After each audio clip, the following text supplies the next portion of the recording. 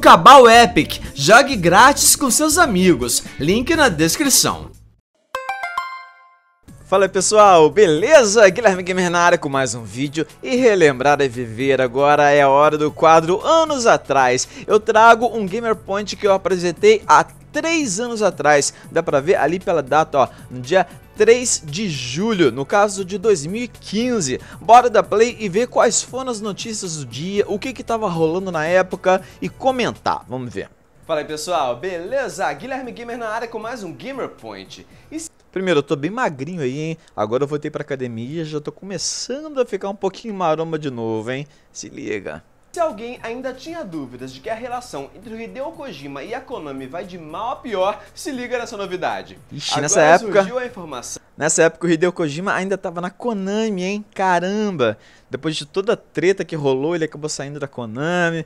Mó mistério aí em relação a isso. Então, que o responsável pelo marketing da Konami recebeu ordens dos seus superiores para nem sequer citar o nome do Hideo Kojima em nenhuma entrevista. Eita. Atualmente, o famoso produtor segue empregado na Konami fazendo Metal Gear Solid 5, mas tudo indica que logo após o jogo ser lançado, ele entre para a fila dos desempregados. E não ficou desempregado muito tempo não, hein? Logo, logo a Sony foi lá, ó, puf, abocanhou o Hideo Kojima e atualmente ele trabalha aí em Death Stranding, jogo que não tem data para sair, mas que promete bastante e bem psicótico, bem alucinado o jogo, bem doidão mas ele com certeza não vai ficar sem trabalhar por muito tempo, né? Com certeza. Ainda sobre a Konami, agora uma coisa boa. Eles hum. liberaram um vídeo mostrando uma edição super especial do PlayStation 4. Hum. Olha só que da hora. Ela é toda tematizada com o jogo Metal Gear Solid 5. O console vem em vermelho e cinza, o controle segue um padrão mais sóbrio e ainda vem junto uma réplica do braço robótico do protagonista do game.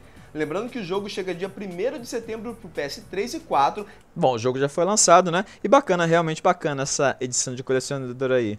Pena que eu não tive acesso a ela, mas bem interessante mesmo. Xbox One e 360. A versão de PC chega mais tarde. Dia... Olha, nessa época os jogos ainda eram lançados para a geração passada, hein? Do 360 e PS3. 15 de setembro.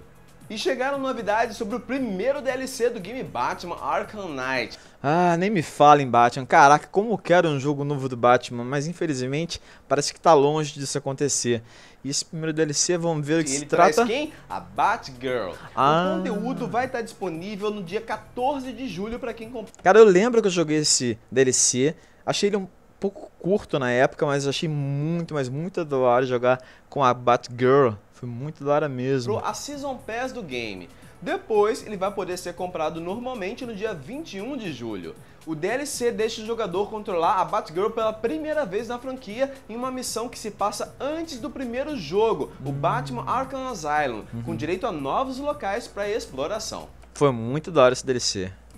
E a produtora ficou bem feliz com o resultado da fase beta do Gears of War Ultimate Edition. Hum. O período da beta rolou em meados de junho e o feedback dos jogadores foi de extrema importância para eles fazerem e agora a gente está aguardando por Gears of War 5, né? Uma das grandes, é, um dos grandes momentos marcantes da conferência da Microsoft na E3 2018. E aí nessa época eles estavam falando da Ultimate Edition do primeiro Gears, né? Nossa melhorias senhora. na versão final do game. Como o tempo passa, Eles ainda hein? revelaram dados curiosos e interessantes. Se liga. Ao longo dos oito dias de beta, foram 41 milhões de mortes, e destas, 1 milhão e meia com a motosserra. Participaram da beta mais de 700 mil jogadores. Eu, na real, não cheguei a jogar muito essa Ultimate Edition do Gears of War, não. E você, jogou na época? E a produtora do game The Witcher 3 achou um jeito bem bacana de trollar os jogadores que acharam uma falha no game para ganhar dinheiro fácil. Hum. Se liga, o macete funciona assim. O jogador vai em um local, mata as vacas e coleta os itens. Tô me lembrando disso, olha, deixa eu até voltar. Tô me lembrando disso, era muito, muito bizarro esse macete, olha só, se liga. Acharam uma falha Ó, no game para ganhar dinheiro macete fácil. Macete bizarro. Se liga, o macete funciona assim. O jogador vai em um local, mata as vacas e coleta os itens. Depois ele medita por um tempo, daí as vacas vão reaparecer e ele mata as coitadas de novo e vai fazendo o processo toda a vida para ficar rico. Então, o que a produtora resolveu fazer? Simplesmente botar uma criatura enorme para pentelhar a vida de quem tentar usar o macete. nem é tão difícil assim derrotar um monstrão, mas fica vindo um atrás do outro para perturbar a vida ah. do jogador. Bela trollagem da produtora, né não? E esse foi o Mandou bem aí esse Deep Project Red. E esse aí foi o Gamer Point, então, do dia 3 de julho de 2015.